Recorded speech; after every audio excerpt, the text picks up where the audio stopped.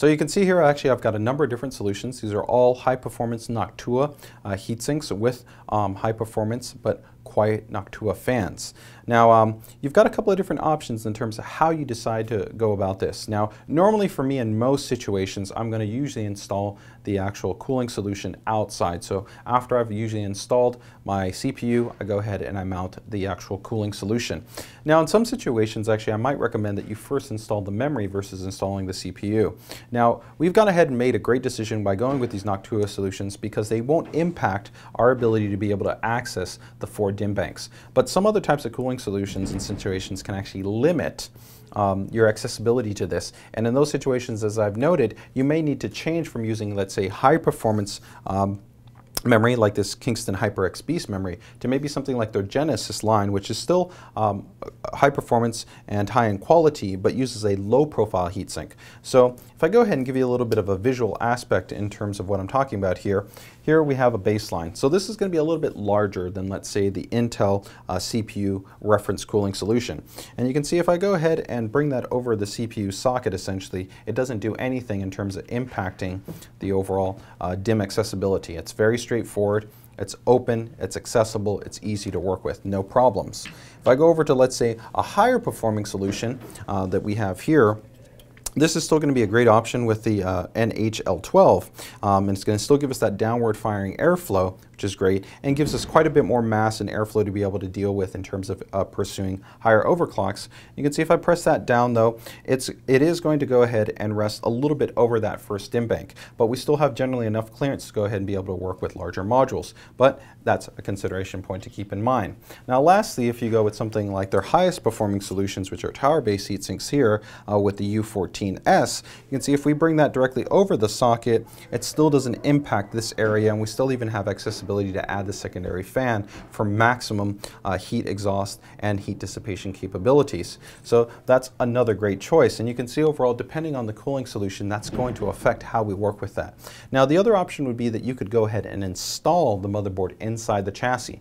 Now, here we've got our BitFenix Ghost, and one of the great features about this Ghost chassis is the actual molded cutouts that are inside of the frame. This allows for flexibility at not only doing great cable management and routing, um, but they have a full cutout in the back. So this cutout would actually allow you to go ahead and put the back plate into place. So these Noctua cooling solutions use a great backplate design, uh, excuse me, backplate design. Uh, it's called a SecuFirm mounting mechanism. So we could essentially have access uh, to be able to do that even if the motherboard is installed in. Now personally I do find that that only works well when you're deciding to upgrade the cooling solution that you already have inside your chassis so you don't have to take out your entire motherboard because it is a little bit more work if you keep in mind that you're going to have to be vertically oriented and you're going to have to hold that in place. It can make it a little bit more complicated, but it's still definitely doable, and it's a great feature to have on your chassis. So overall, my recommendation would be to do it externally.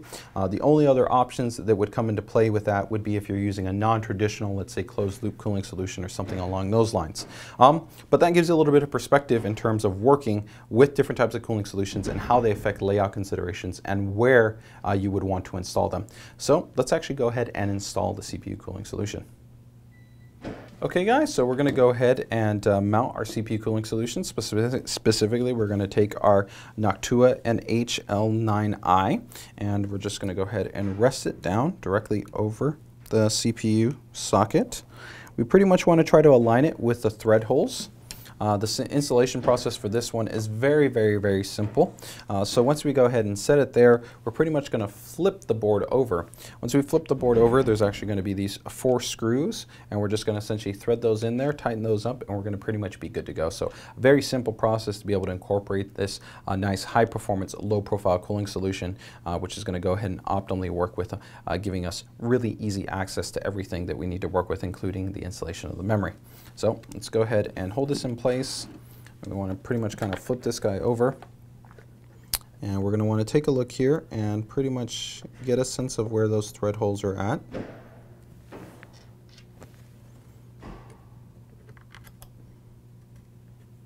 And just screw it in. And you generally are going to want to try to go in a star fashion or cross fashion, so you want to go ahead and tighten up uh, the opposing sides first, and that'll go ahead and inadvertently go ahead and create it uh, evenly spaced, and then from there just go ahead and thread it in on the other side.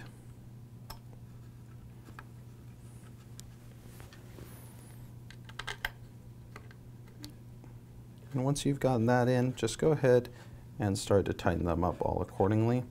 And uh, you generally don't want to apply too much. You know, I mean, pretty much if you notice here, I'm not using a screwdriver, pretty much going finger tight. Uh, the main reason why is you don't want to go ahead and over torque or stress the PCB. Uh, there's very fine traces that are all along the motherboard and we don't want to compromise or damage those traces. So it's just something to keep in mind. Uh, so once we've gone ahead and finished tightening these guys up, should be pretty much good to go. You can check the contact by giving a little kind of uh, pull on the top of the heatsink and make sure that it feels secure and tight for you.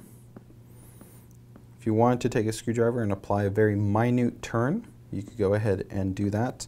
But like I said, in most situations, depending on your cooling design um, and the backplate mechanism that it may or may not use, uh, just follow the directions.